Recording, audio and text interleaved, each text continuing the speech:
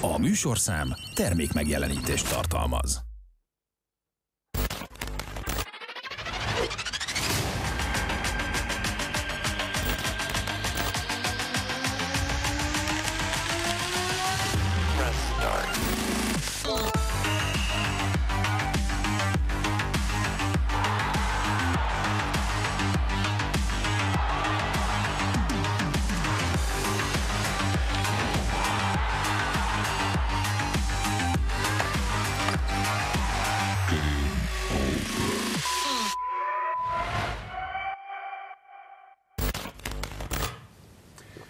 Jó estét kívánok, nagyon sok szeretettel köszöntöm a kezdőkör nézőit és hallgatóit. Tulajdonképpen ott tudjuk felvenni a fonalat ebben az adásban, ahol az előző héten letettük, de három teljesen másik vendéggel, akik viszont természetesen ugyanúgy képben vannak az események kapcsán. Beszélgettünk egy héttel ezelőtt arról, hogy a nagy verességek, amiket például a labdarúgó válogatott Németországban vagy a Volán az első bajnokok ligája mérkőzésen elszenvedett, hogyan hatnak a későbbi teljesítményre, hogy kell ezt jól feldolgozni, hogy lehet belőle jól kijönni. És akkor ugye kedden egy héttel ezelőtt még épp a Magyarország-Bosznia Nemzetek Ligája mérkőzés előtt voltunk, és mondtuk, hogy na majd meglátjuk. Azt láttuk, hogy a Volánnak azért a második meccsen már egészen más tartása és eredménye is lett. A válogatott pedig, hát így utólag elmondhatjuk, hogy ha eredményben nagyot nem is tudott javítani, de valóban úgy tűnt a játék elemeiben, meg talán a hozzáállásban, hogy, hogy hatott az a németországi pofon. Úgyhogy akár folytathatjuk is itt, és elsősorban a jégkoronggal majd itt az adás elején mindenképpen, már csak azért is, mert ennek a sportágnak és a Fehérvár, a Hidro, Fehérvár a V19 körüli történéseknek azért komoly városi vonatkozásai vannak, és nagy örömünkre itt van ma velünk a stúdióban Cserpalkovics András Székesfehérvár polgármester, akit sok szeretettel köszöntök a kezdőkörben. Jó estét kívánok, köszönöm szépen a meghívást. A középső pozícióban, ugye a kezdőkörben ugye szoktak a csapatkapitányok lenni. És a két szélen. és a két villám szélső. Jó, két, ma, ma, ma, már nem mondanak ilyet foci, hogy jobb szélső, bal szélső, szélső hátvéd, vagy valami. Szárnyvédő. Szárnyvédő, szárnyvédő igen, a jobb szárnyat Kajzer Tamás védi, aki a műsor ötletgazdája, alapítója volt annó, és immár a sportál.hu szerkesztője, és német Krisztián pedig itt van velünk szintén a FEOL újságírója, illetve médiacentrum külsős munkatársa. Hát fiúk, túl vagyunk ugye ezen a... Most már, most már azon túl vagyunk, hogy végre van Alba arénánk, van nagyszerű létesítmény, nyilván élesbe lehet tesztelni legjobban ezeket a dolgokat, és hát még nagyon-nagyon sok meccs vár a szurkolókra, meg a csapatra is. Úgyhogy a személyes élményeitek azért érdekelnek, hogy milyen volt itt meccsen lenni, már csak azért is, mert hát ismerjük a fehérvári szurkolók azért kritikus vénáját, nyilván mindenki úgy ment ki, hogy hát majd jó megnézem, aztán megmondom, hogy mi nem tetszik, vagy mi az, ami, ami extra jó, és akkor beszélünk majd persze a csapatról, meg a meccsekről is, de, de hát az első érzés mindenképp, vagy kérdés mindenképpen az, hogy, hogy milyen feeling most szurkolni egy olyan csarnokban, amely hát nem is tudom hányszorosa, de befogadó képességét tekintve legalább kétszerese az eddig megszokott raktár utcainak. De lehet, hogy tűzoltóság szerint mondjuk 6-8-szoros. nem akarom, hogy hivatalosan feszegetni, de, de tudjuk. Lényeg az, hogy sokkal többen elférnek biztonságos körülmények között benne. Én a csütörtöki meccsen voltam, ugye ez volt a, a Volánnak, a Volán fel, felnőtt csapatának az első hivatalos hazai meccse. Figyelj, szerintem teljesen rendben van, tehát a fura volt, hogy a mártirokra nem kellett ott végre. Volt hely a mártirokon, nem? Volt hely, a, ó, volt hely a mártirokon. Végre lehet. Nem, nem. Az egy, egy, egy dolog, hogy, hogy nyilván az az ördögkatlan feeling, ami megvolt az ifja bocskai uh, jégcsarnokban, az, az nincs meg, de hát nyilván majd, hogyha ott, ott egyre többen lesznek kint, meg, meg nyilván a a szurkolók is megtanulják majd, hogy mikor, mit, hogyan, merre kell az új arénában, meg hogyan kell ütni a dobot, hogy az még hangosabban szóljon, vagy még két dob kell, vagy akkor teljesen, dobot, igen. akkor teljesen rendben lesz, de hát azért alapvetően zongorázni lehet a különbséget, még hogyha én a, a, a B pályára, most a B pályára is nagyon szívesen jártam, egyébként meg szerintem összességében remek, és szerintem remek meccset is játszott első hazai mérkőzésén a, a, a, a Volán nem sokon múlt tényleg a, a, a csoda. Szerintem az egy külön öröm, és, és szerintem valahol szimbolikus is, hogy az első hazai hivatalos mérkőzés legjobb fehérvári játékos egy, egy, egy olyan játékos volt, aki ezer szállal kötődik Fehérvárhoz, itt kezdett jégkorongozni, ugye a Horváth Dominik a kapus, és, és, és szerintem ez, ez, ez, ez egészen remek kezdés volt. Tehát nyilván az meg zár, zárja, az meg nyilván szakmai stábnak kell földolgoznia, vagy földolgoztatnia a csapattal, hogy, hogy itt az elején sok a vereség a, a BL miatt, de hát nyilván más a, más a, a, a színvonal, más a külön, vagy más a csapatok közti különbség, mint az ebben vagy Ice Hockey Ligában. Igen, ami, ami ugye valóban a, a nagy kérdés volt, hogy azok, akik, akik gyakorlatilag a saját lábnyomukkal lefoglalták a, a helyet a régi csarnokban, és mindenki tudta, hogy a mellette, előtte, alatta, vagy akár a nyakában kiáll, ül és ordít egy mérkőzésen, ők hogyan lakják be, meg viszonyulnak ahhoz, hogy kényelmes székeken ülve adott esetben tágas térben, kicsit messzebb a mellettük ülőtől nézhetik a meccset, ami egy 21. századi nagyon komfortos körülmény. Ugye tudjuk, hogy például Amerikában, ahol azért a világ legjobb ligája működik, ott akkor a csarnokok vannak, hogy, hogy akár 15-6 ezer ember is néz, viszont néz, tehát ott, ott tényleg ott is ülnek, el popcornozgatnak, rájátszásban esetleg már jobb hangulat is van. És szerintem az volt a kérdés, hogy valahol az egyensúly, tehát a mi megszokott ördögkatlanos, ordítós, ugrálós, ellenfelet kicsit azért hát ilyen megfélemlítő légkörhöz képest egy ilyen kulturál, tágas, szép európai létesítményben milyen hangulatot lehet varázsolni? Valóban szerintem sok kérdés volt, ez és az nagy öröm volt tétmérkőzésen látni a csapatot az Alba arénába. Azért nagyon sokan és nagyon sokat dolgoztak azért, hogy ezt a pillanatot megérhessük. Az, hogy ráadásul ez bajnokok ligája mérkőzéssel tudott úgymond nyílni klubszinten, és tényleg Európában extra csapatok érkezhettek, mind csütörtökön, mind pedig szombaton, majd pedig még ugye október 15-én ide Székesfehérvárra, az szerintem egy nagyon nagy esemény. Nagyon szeretjük a Raktár utcát, mindegyikünket az hogy gyönyörű, szép élmények kötnek oda, fantasztikus hangulat a büfébe az a különleges hoddog vagy meleg szendvics, tehát nagyon-nagyon sok élményt tudnánk mondani de azért azt is látni kell, hogy bármelyik mérkőzést nézzük most a lejátszott kettő közül, hogyha az eladott bérletszámot és a jegyértékesítést nézzük, akkor nagyjából 3200 jegy és bérlet ment el. Nem feltétlenül voltak ennyien, mert nem biztos, hogy minden bérletes eljött, de ennyi volt az eladott bérlet és jegy szám. Ez nagyjából ezerrel több, mint ami a Raktár utca hitelesített nézőszáma volt, erős katasztrófavédelmi jó indulattal. Ez azt jelenti tehát, hogy ha ezeket a mérkőzéseket a Raktár utcába játszottuk volna, akkor kapásból ezer ember nem mehetett volna be biztonságos körülmények között a raktár utcán. De megnézem, hogy fennakadt volna a Lozanni vagy a svéd csapat játékosai. És ugye amikor két évvel ezelőtt a csapatot játszott a bajnokok ligájába, és akkor is ugye neves ellenfeleket fogadhattunk, akkor azért erős jó indulat volt a bajnokok ligája szervezőiben, hogy engedték a raktár utcát, és részben azért engedték, mert el tudtuk nekik mondani, hogy de már épül, két, két év van nagyjából meg lesz, és, és most kérjük, hogy ne, ne kelljen azt megélnünk, hogy, hogy ez a tényleg ikonikusan Fejevárhoz kötődő csapat és, és klub és sportág, az azt a mérkőzést, ami valójában ennek az óriási teljesítménynek egy nagyon szép eredménye, azt mondjuk Budapesten kelljen, hogy megéljen, mert nem engedik a fehérvári helyszínt és fehérvári csarnokot. Ugye mindegyikük szeretjük a sportot, látjuk, hogy ami a labdarúgásban szigorodik a létesítmény az infrastruktúra elvárása tekintetében, az ugyanúgy megvan jégkorongba, kosárlabdába, kézilabdába. Tehát ezzel egyszer menni kell, ha azt szeretnénk, hogy nemzetközileg is jegyzett csapatunk legyen. Tehát azt, azt lehetett volna csinálni, hogy egy ilyen az IFL Bocskai Gábor csarnok mintájára ugyanazt fölhúzni, csak modernebben, nem?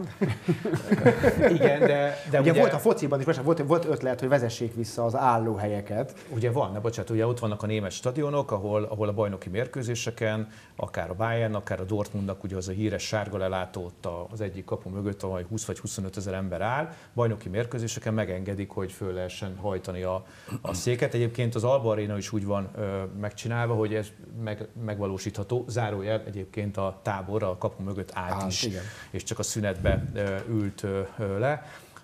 Úgyhogy szerintem nagyon jó hangulat volt, azt gondolom, hogy főleg a második mérkőzésen, amikor nagyon jól ment a csapat, szerintem közel voltunk a pontszerzéshez, ott kifejezetten a hangulatra sem lehetett már panasz, szerintem ott nagyon jól szólt. Ugye ott voltak svájci szurkolók viszonylag szép számban, 100-150 svájci szurkoló is érkezett, nyilván ők is szurkoltak.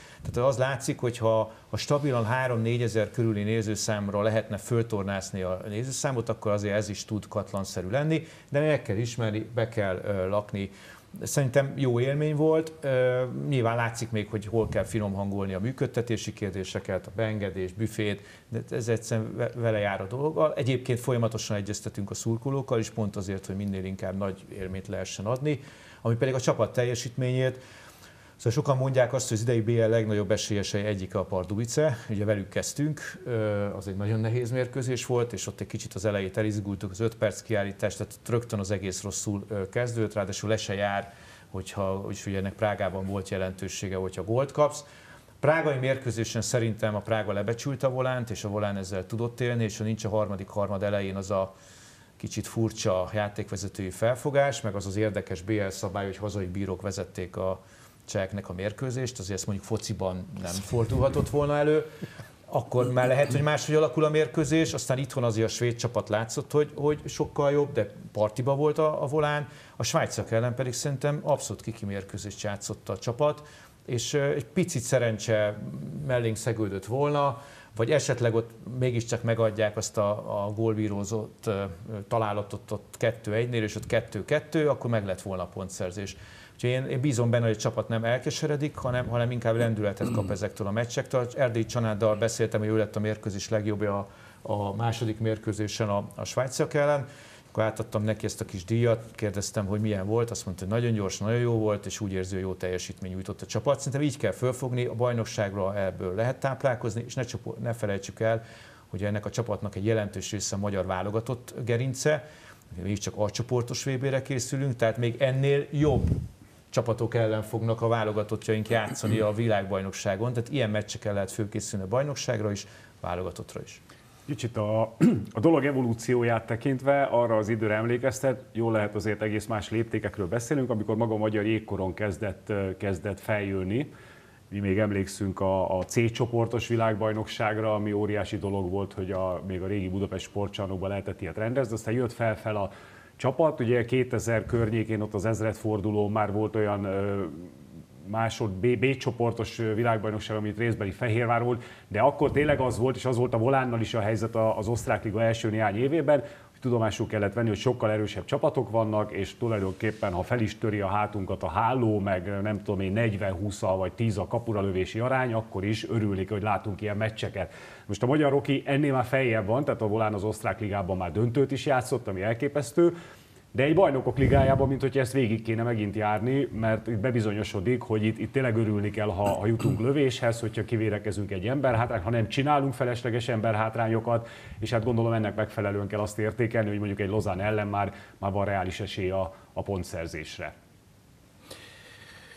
Ebből a mai kvartettből én kakuktojás vagyok, mert én még nem voltam tétmeccsen az Alba arénában, nem az a, nem az a sportágam jelenleg, ami, a ritmikus gimnasztika, a ritmikus ahogy, így, ahogy nézek egy hirtelen. Kocsi a verseny már volt az arénában. Igen, igen, igen. Na, Erről meg arról, arról én Szóval, hogy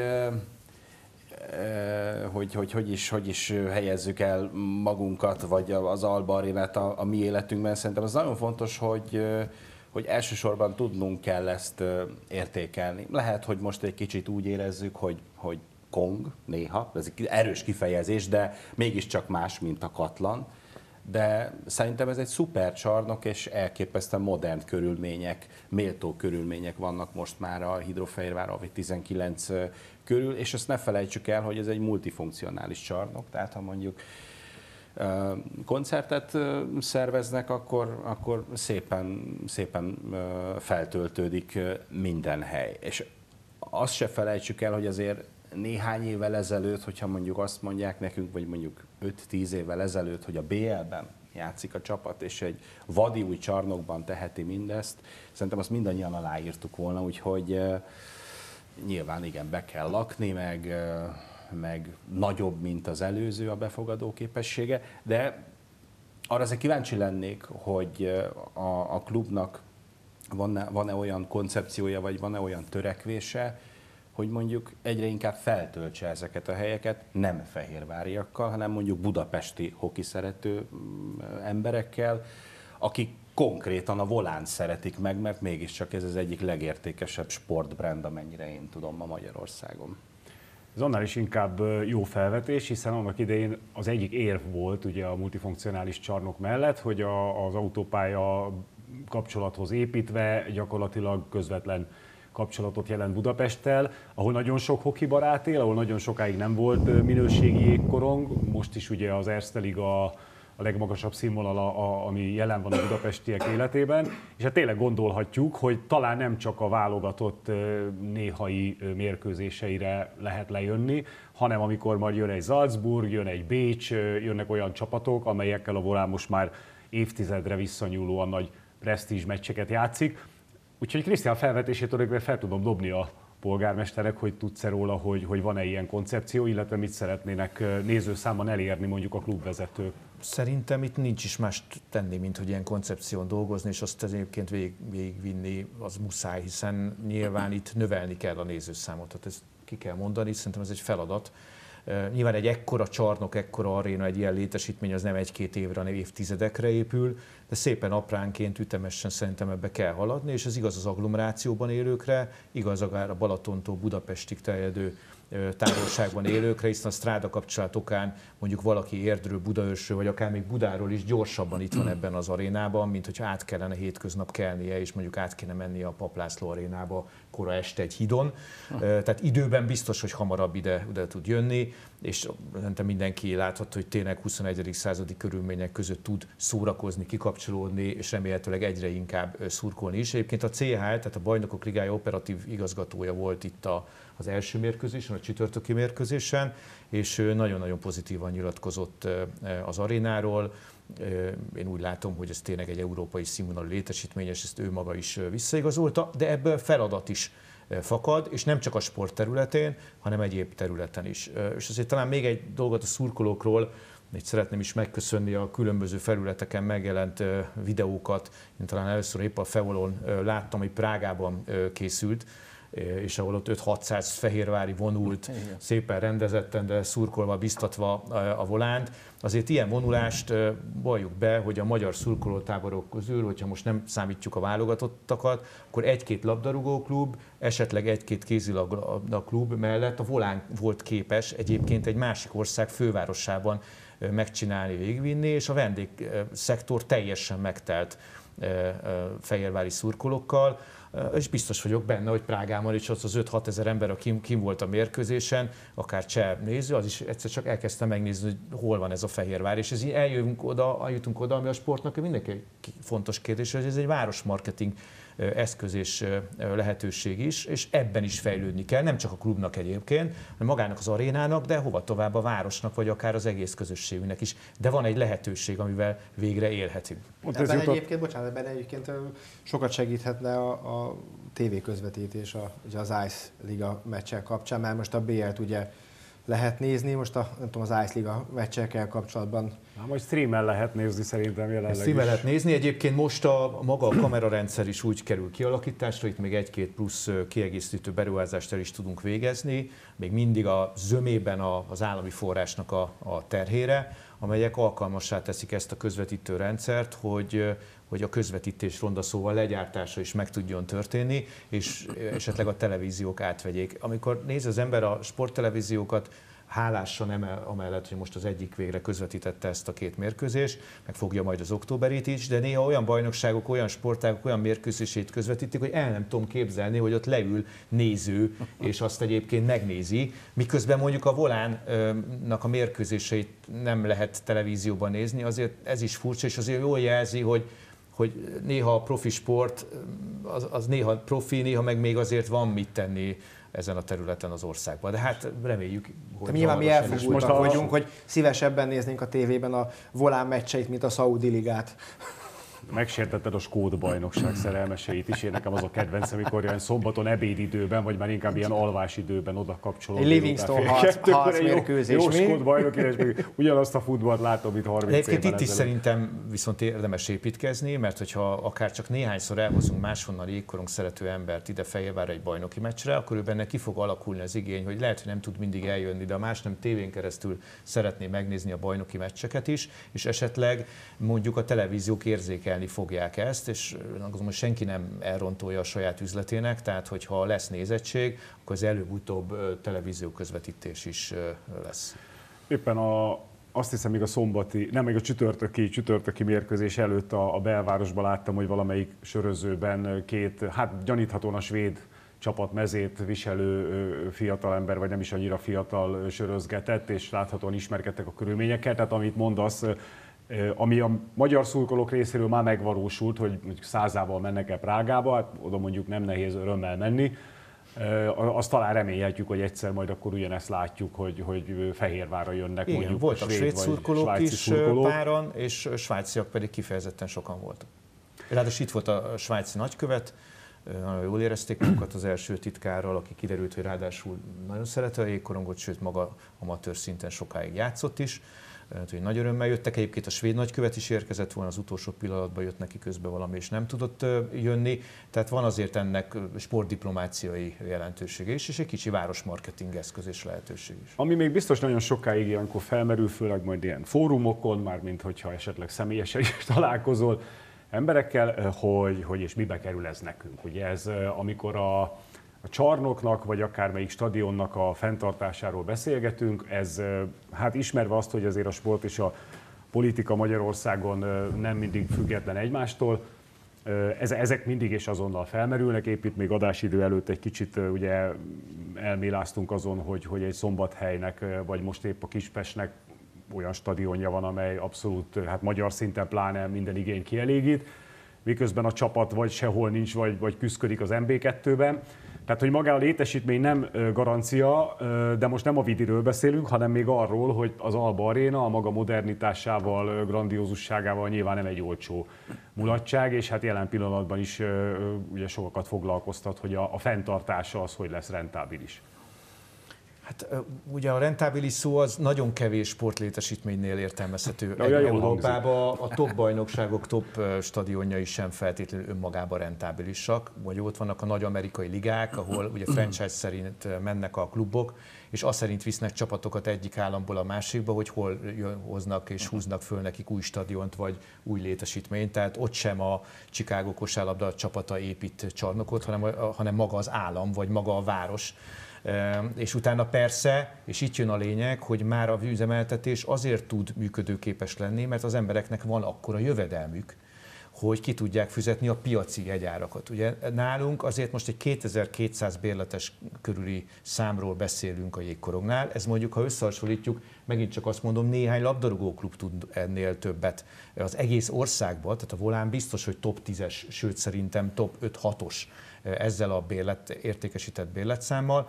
Ha mi annyit tudnánk kérni egy bérletért, mint mondjuk Klagenfurtba, akkor önmagában nagy valószínűséggel nem beszélgetnénk erről a kérdésről. De még egyszer, ez a létesítmény nem két évről szól, öt évről szól, hanem 30, 40, 50 évről, és bízom benne, hogy pár év múlva már ez az arány, amit ilyenkor egy-egy értékesített bérletből tudunk elszámolni, az egyre inkább a nullszaldó felé közelít. Ugye azért itt értékesítésre kerül az, az aréna neve, hamarosan bízom benne, hogy az erre kiírt pályázat eredményesen lezárul, és be tudjuk jelenteni a, a nevet, azért egy nagyon komoly ö, ö, bérlet és jegybevétel várható, ez egy több millió forintos ö, bevétel.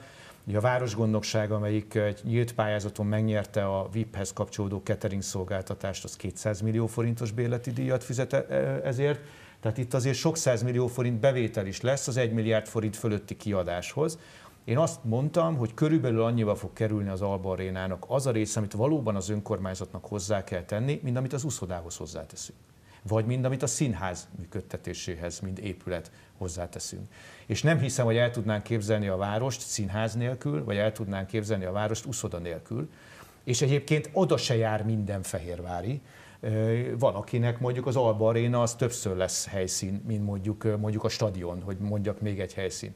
Viszont egy biztos, hogy egy város, amelyik regionális szerepet tölt be, az elképzelhetetlen közösségi terek nélkül. És szerintem örüljünk annak, hogy egyre több modern, 21. századi közösségi terünk van, jelent ez kihívást, mondjuk úgy, hogy a polgármesternek ez egy komoly feladat. Nyilván bízunk benne, hogy például az úszodához, vagy a színházhoz kapunk állami támogatást, hamarosan ilyen meg fog jelenni az Alba Arénánál is, ha más nem azért, mert mondjuk a nemzeti válogatott, vagy éppen a szinkronkori, műkori az sok esetben itt tud fellépni, vagy éppen edzeni, tehát lesz valamilyen ágon állami támogatás, és nagyon bízunk abban, hogy előbb-utóbb a volánnak is lesznek olyan nagy támogatói, akik ezt piaci alapon tudják működtetni, és vagy ott tudjuk lecsökkenteni az önkormányzat hozzájárulását, vagy ők tudnak nagyobb életi díjat fizetni ezért a csarnokért. De ez mind-mind feladat. Én egy valamit tudok ígérni, hogy folyamatosan mind a kiadási, mind a bevételi oldal nyilvánosságra fogjuk hozni. Ezt meg szoktuk tenni a stadionnál, uszodánál, más létesítményeknél is. Mindenkinek ezt joga van megismerni, de azért abban bízom, hogy az emberek döntő többsége, és én annak idején a nyílt napon érzékeltem ezt leginkább, örül annak, hogy végre van egy 21. századi létesítmény. Van ilyen Veszprémnek, Szegednek, Győrnek, végre egyszer, Tatabányának, végre egyszer Székesfehérvárnak is vannak ilyen közösségi terei. Hát ez nem is kérdés, hogy, hogy kiváló, hogy van. Azt pedig nyilván csak remélni tudjuk, hogy például a jegybevételek a már az kifejtett közönség számnak köszönhetően majd olyanok lesznek, hogy, hogy biztos bevételt jelentsenek. Egyébként azt hiszem, talán ebben a műsorban is beszéltünk róla, hogy azért nem sok stadion van Magyarországon, amelyik ilyen értelemben termel. Ugye a Grupa Arénát tudjuk, illetve még a Debrecenére mondják, ahol nagyon sokféle különböző eseményt tudnak rendezni, fesztiváltól kezdve, meg üzleti találkozókat, sőt talán üzlet sora is van, nem tudom. Ez mindesetre azt mutatja, hogy a multifunkcionalitás az nem csak a, az események sokszínűségét jelenti, hanem a kihasználhatóságát is egy, Igen, egy illetve azért a budapesti létesítményeknél és az azokat használó kluboknál azért mondjuk úgy, hogy soha nem felejthetjük el, hogy azért különböző csatornákon ott komoly minisztériumi és állami támogatások, vagy egy állam által mondjuk úgy, hogy odarendelt szponzorok támogatása jelen, jelennek, jelennek meg. Ez abszolút költségvetési tételekként jelennek meg, mondjuk egyébként a tüskecsarnoknak a fenntartása. Tehát ez az általános probléma, hogy Budapesten nagyon sok olyan létesítmény van, nem csak a sportban, a kultúra is ennek abszolút jó példáit hozza, amit valójában az állam tart fönn, miközben zömében az ott élők használják. Én ezt mindig egy igazságtalan rendszernek tekintettem a vidéki polgár és a fővárosi polgár összehasonlításában, de még egyszer, én nem tőlük szeretném elvenni ezeket a támogatásokat, bármelyik klubnak is járjon ez, hanem azt szeretném, hogy a vidéki épületek, létesítmények, klubok is kapják meg ugyanazokat a támogatásokat, mert mondjuk például a Volán szurkoló tábora nagysága is jelzi, hogy az egyik top klub az összes sportágat tekintve, egyébként az egész országban és az ország sportéletében. Nehezen, lehet, nehezen tartom elképzelhetőnek, hogy egy 6000-es arénát mondjuk az Erste Ligával folyamatosan meg lehessen tölteni. Igen, és nem beszélünk és ugyanis az, hogy itt egy csapat is kell, ami egy ilyen produkcióra képes. És ugye itt, itt akkor megint visszahoznám a tévé közvetítést, hogy gyakorlatilag az ember bekapcsolja a tévét, és kiesik rajta néha az Erste Liga, vagy hát viszonylag sok meccset adnak, és a, a, a, az osztrák ligát meg Hát nem. nem, nem ismerem az üzleti Bár nyilván a Veszprémnek se adják az összes hazai meccsét. Gyanítom, hogy ez, ez, ennek azért üzleti tárgyalásoknak a hátterébe, ugye például a francia labdarúgó bajnokság így járt, pedig azért az nem lehet, nem nevezhető egy európai hogy mondjam, szatellitnek, ott is az utolsó pillanatig, sőt utolsó utáni pillanatig úgy volt, hogy maximum streamen, meg ilyen különböző csapatok különböző felületei lehet követni. Tehát el, el, előfordul néha, vagy az olasz bajnokságot említhetnem, ami szintén az utolsó pillanatban dölt el, hogy egyáltalán képernyőre kerül Magyarországon, de lehet, hogy jelenleg nincs is, nem tudom. Tehát előfordulnak ezek a dolgok, az állami támogatáshoz pedig annyit, hogy ez valóban szerintem is aránytalan, ugyanakkor azt meg jegyezzük meg, hiszen elhangzott, hogy akár a stadion, akár az aréna ugye nagyon komoly állami támogatás nélkül fel se épülhetett ez volna. Ez mindenképpen Szerint. így van, ez minden létesítménynél igaz, és ha már nézőszámról beszélünk, szerintem nagyon fontos az, hogy családbarát időpontokba kezdődjenek a mérkőzések. Ez megint nem csak a jégkoromra igaz. Tehát hétköznap este fél nyolckor, nyolckor kezdeni mérkőzéseket, az, az egyszerűen azt jelenti, hogy a kisebb gyermekes családok már nem tudnak kimenni, hiszen másnap reggel iskola. Egy szombat délután négy óra az mindenképpen egy pazar időpont. Ugyanez a problémám, biztos öreg szemebből is látszik, hogy amikor 9 órakor kezdődnek a bajnokok ligája mérkőzések, én nagyon szívesen megnézem az első félidőt, majd utána elmegyek aludni, és reggel megnézem az összefoglalón a gólokat a második félidőből. Ez én is így lennék, csak közvetíteni kell. Viszont, viszont, viszont örülök, ez azért mellette szól, hogy végignézem azokat a mérkőzéseket. Köszönjük, köszönjük egy, egy magyar vonatkozás van. De Krisztiát, ezek szerint lesz műkorcsolya meg. Szinkronkori az új égcsarok, vagy ébredjél föl, most jönnek Most jönnek a, most a sportágod.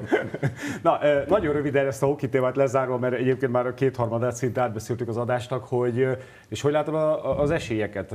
Most, most, most könnyű még mondani bármit, ugye az osztrák liga még ezután fog kezdődni, megnéztünk néhány bajnokok ligája ellenfelet, azoknál csak azért Hát nem csak, de, de mondjuk zömébe gyengébbek lesznek az osztrák ligában, azért egy Salzburgot tekintve mondjuk ők azért a bajnokok ligájában is meg szokták állni a helyüket. Szóval reménykedünk valami hasonló szépben, mint mondjuk két szezonnal ezelőtt, a tavaly is az alapszakasz tekintve gyakorlatilag rekord volt. Legyen öröm hoki.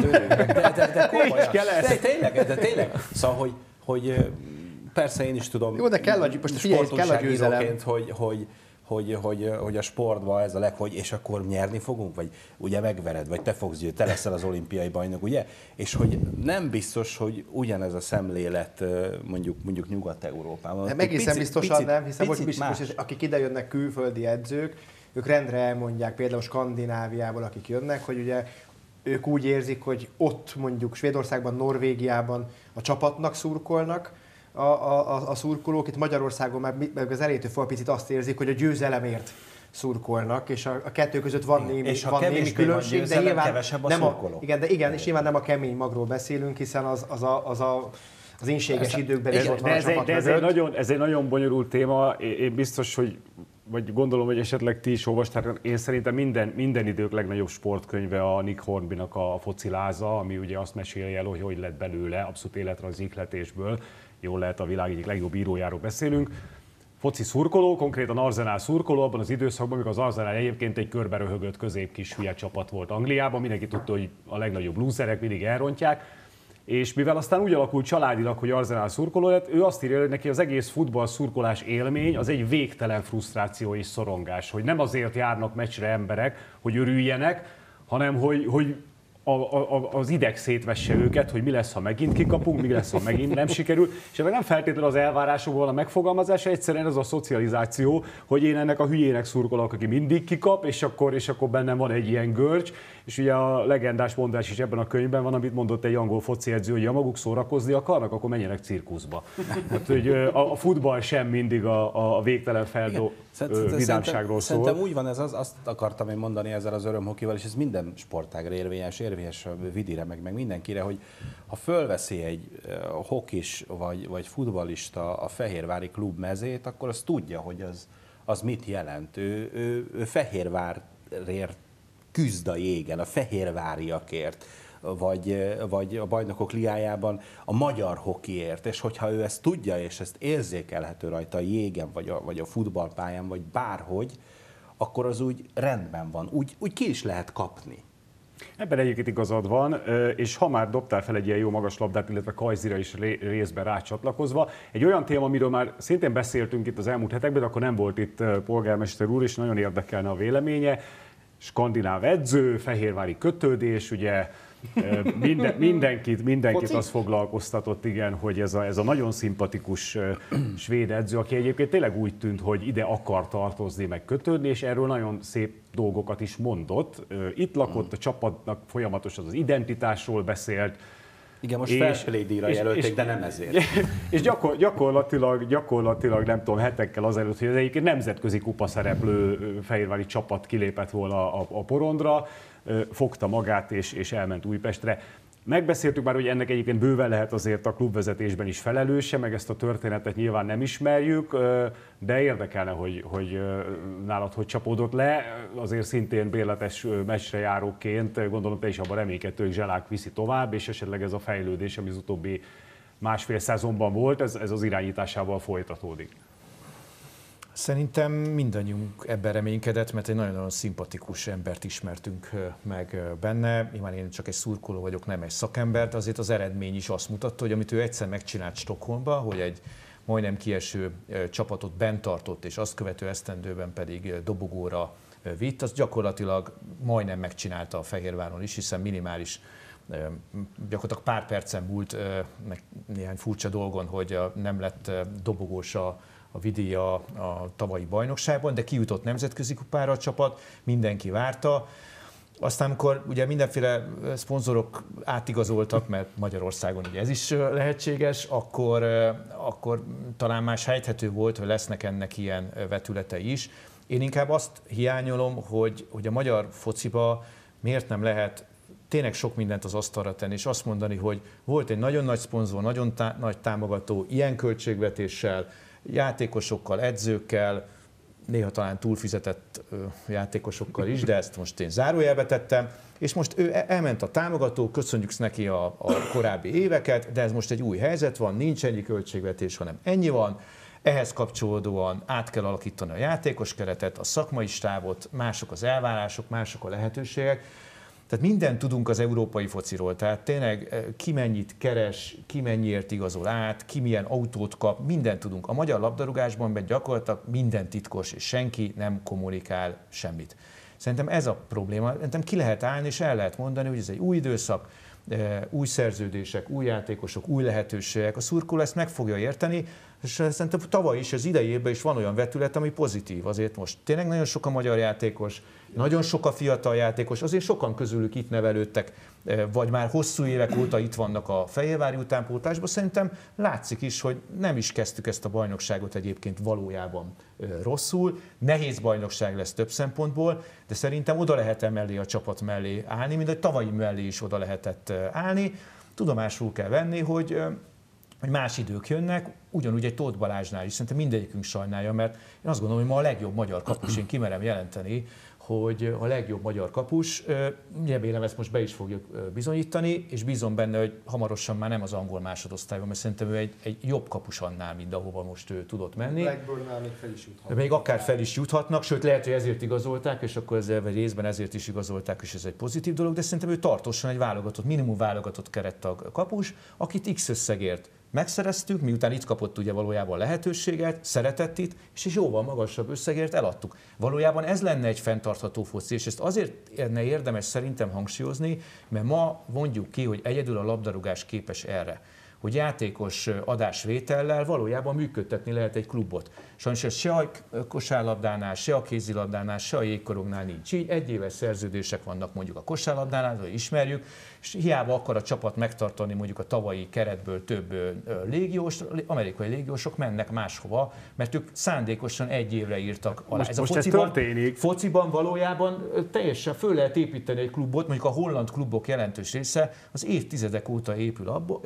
él abból, hogy kinevel játékosokat, és akkor szépen elad, és akár után követ, és még év, egy vagy két évtized múlva is kap abból a játékosból, aki az ő utánpótlásából jött ki. De ez azért érdekes, hogy ez most történik érdemes meg. lenne erről kommunikálni. Igen, hogy ez most történik meg Fehérváron, mert most valóban látjuk, hogy aki értékesíthető, azt lassan mind értékesítik is. Most ugye Christensen ment el legutóbb Romániába, ö, előtte valóban Bambok, meg bambok. Tóth Balá- Bambokot is valamilyen csoda folytán sikerül, de hogy ez történik, amit persze a szurkolók kiárusításként élnek meg, mert korábban valóban nem volt jellemző, amikor ennek a klubnak volt pénze, és megalapozhatott volna akár hosszabb távra egy sikeres időszakot, mint a Ferencváros. A Ferencváros már tud játékosokat értékesíteni olykor, nyilván azért még nem horvát meg szerb nagyságrendben, de előfordul, hogy értékesítenek, vesznek, aztán haszonnal adnak tovább. Csak nálunk, mintha az lett volna, hogy hát van pénz, akkor meg minek? Akkor nem kell az eladás, nem kell az üzlet, mert... Hát csak itt, jó, itt is azért Tóth Balázs esetében szerintem a, azt majd látni kell, hogy most ok- oké, okay, ugye itt ilyen 1 millió, másfél millió euró körüli összegről lehet hallani, hogy ezt mondjuk hogyan fekteti be a klub, és ebből mi az, ami majd a, a, a csapaton látszik, és amire azt tudja mondani a szurkoló, hogy igen, fájt akkor, hogy Tóth Balázs elment, de jött helyette ez a két fiatal, Lesz reggeli. Zselák ugye menni, és most Majd 1 millió euróból. Jó mondhatnám, hogy itt meg van stadion.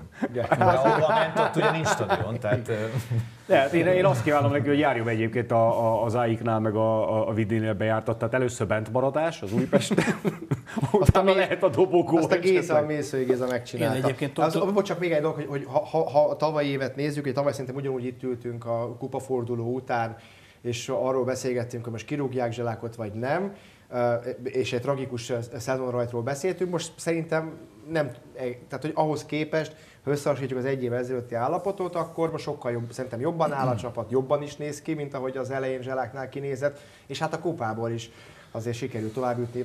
Még ha, a Monor, Monort. még ha Monor nem is az SMTK, A Monori Hát erdő, azért, ő, azért, ahogy azért, azért tavaly, tavaly ilyenkor, mint utóbb kiderült, azért a PR dumák még Bartos Zseláktól jöttek, hogy mennyire imádja Fehérvárt meg a klubot, aztán szerette húzott, mint a. Vadliba egyébként, tehát hogy ezt kár lenne Egyszer, eh, egyszer, majd elár, egyszer majd azért elárulják, hogy, hogy mondjuk kommunikációban a vezetőedző és a klubvezetés között mi zajlott abban a néhány hétben, mert én azért erősen gyanítom, hogy ez, ez nem Zselák kezdeményezte ezt a dolgot. Na mindegy, E- ehhez képest szerintem most van egy tök önazonos edzőnk Pető Tamás személyében, aki egy nagyon Akinek tökös. biztos szívügye ez a klub és Ez, a szabály. ez, ez, ez, egészen, biztos. ez egészen biztos. És- gyanúsan kötődik Újpesthez ő is, úgyhogy én már ó- óvatosan bánnék és, ezekkel. és tehát- hogy egy picit a Tóth Balázs ügyre rácsatlakozzak, tényleg az egyik legjobb ö, magyar kapus, és ö, tök jó, hogy kiigazolt ö, Angliába, és aztán jött a Fehérvári gyerek Dala Martin, aki lehozta kapott gól nélkül az MTK elleni bajnokit. Úgy,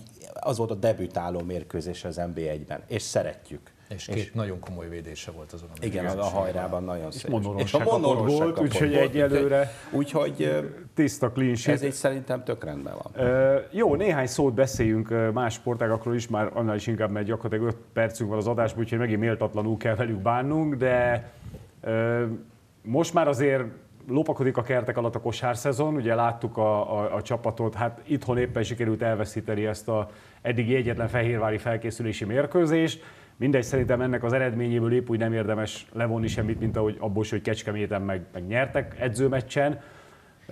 Miben bíztok e tekintetben, és, és azért majd két mondatot beszélünk a kézisekről is, akik viszont már nem csak edzőmeccseket játszanak. Magyar mag erős, ez vitathatatlan, és a magyar bajnokságban főleg, hogy most csak négy légiós lehet ez meghatározó.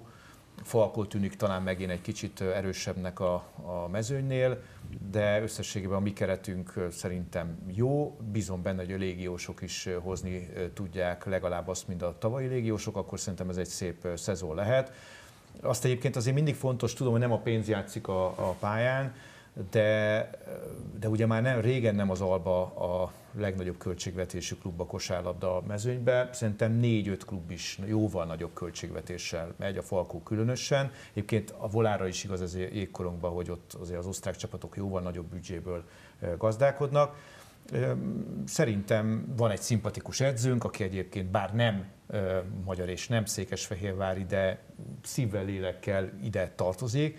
Úgyhogy én neki nagyon szurkolok. Vannak fiatal játékosok is, hogy a szabály szerint nekik játszanius kell, rajtuk nagyon sok fog múlni. Én bizakodva várom az idént, aztán majd néhány forduló elteltével meglátjuk, hogy összességében milyen is a mezőny. Szerintem a kosarasoknál is az lesz a helyzet, mint hogyha már, hogy, hogy a hokisoknál kérdezte, csak nem beszéltük ki. Ott ugye én tartom magam az, amit Hári János mondott, hogy november magasságában lehet látni azt, hogy mire lehet valójában képes ez a csapat, és igazából karácsony után dől el valójában a, a sors, és szerintem a kosárasoknál is az a helyzet, hogy igen, látszik van egy jó magyar mag, nyilván fiatalokon is, de főleg azért a légiósokon is sok fog múlni, ahhoz pedig idő kell szerintem, tehát nagyjából én szerintem ott is ilyen, ilyen december körül lehet majd látni azt, hogy kell -e esetleg légiós cserélni, nem kell légiós cserélni, és valójában hol lehet ennek a csapatnak a helye a, a magyar bajnokságban, de, de én, én bízom benne, hogy, hogy, hogy, hogy azért a, az érem körül megint ott lehet a csapat, meg tök jó lenne egy, egy, egy, egy jó magyar kupa. A nagy kár az, amit, am- amiről ugye itt a másik sporták kapcsán is beszéltünk, kosárba pláne, hogy, hogy van egy jó szezonja egy jó légiósnak, és gyakorlatilag lehetetlen megtartani, pedig hát mondjuk a tavalyi négyből, vagy ötből szerintem bármelyiket a fehérvári szurkolók ismét örömmel látták volna. tudom, hogy talán három, de lehet, hogy négy játékos Igen. kapott is ajánlatot a- az Albától, jobb feltételekkel, mint amiért itt játszottak, különböző okok miatt. Egyébként nem csak pénz miatt, ott volt magánéleti ok is, születendő gyermek és egyéb egyik másik játékosnál, ami teljesen abszolút emberileg érthető, de végül is sajnos mentek. Lesz egy új légiós sorunk, bízom benne, hogy jó teljesítményt fogunk tőlük látni. És hát itt vannak a kézisek, Krisztián, te láttad a Na az egy, Vác örömké, na, az egy örömkézi Na. volt az a második fél. De én úgy bosszankodom most, annyira bíztam, mert nem tudom, ember emlékezett óta, hogy két győzelemmel mikor kezdte a bajnokságot a, a csapat volt, hogy a kettőre decemberig várni kellett, hogy meglegyen.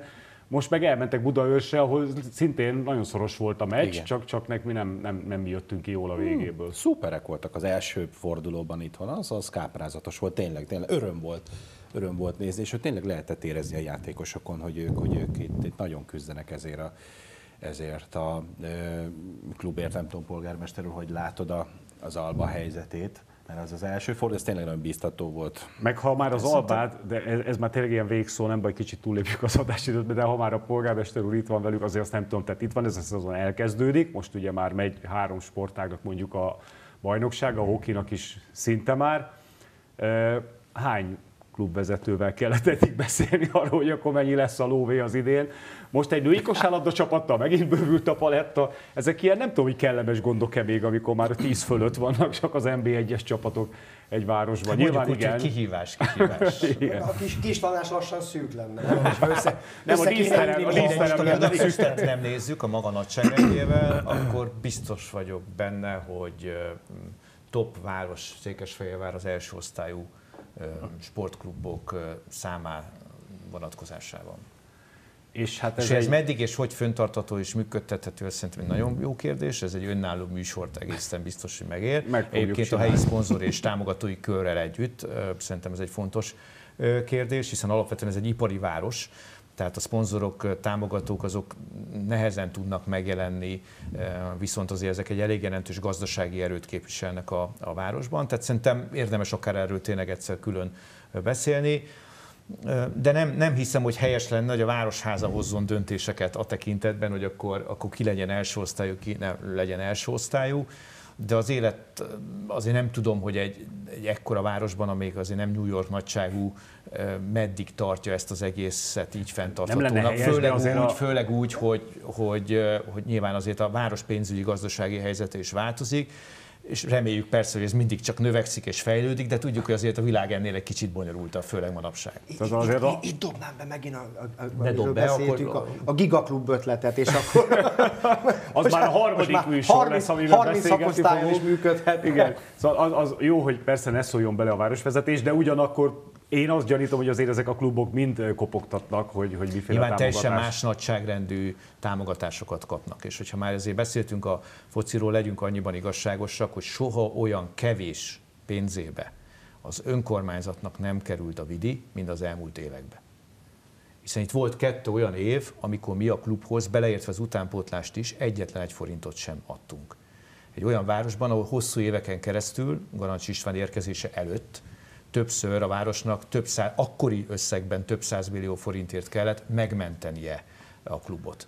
Tehát az, ez is hozzátartozik ezekhez az esztendőkhöz, és szerintem úgy korrekt, hogyha a problémák felvetése mellett azért ezt is hozzátesszük.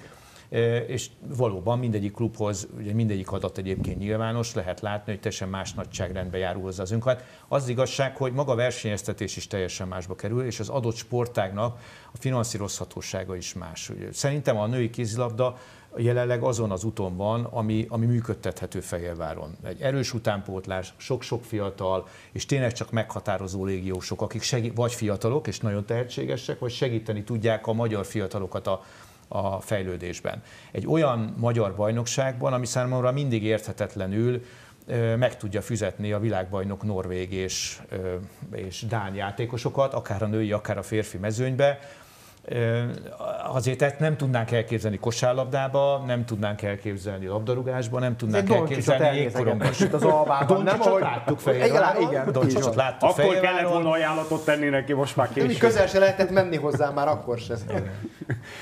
Köszönöm szépen. A, a végszó legyen az, hogy tényleg reméljük soha nem térek vissza azok az idők, amikor megmenteni kell akármelyik Fehérvári klubot, még akkor sem, hogyha mostanában örömteli eső utáni bombamódra szaporodnak az élvonalbeliek. Sokról fogunk még beszélni a következő hetekben. Köszönöm szépen vendégének, hogy itt voltak, és akkor hát néhány három-négy új adás ötlete is felmerült, majd ezekkel is jelentkezünk. Viszontlátásra!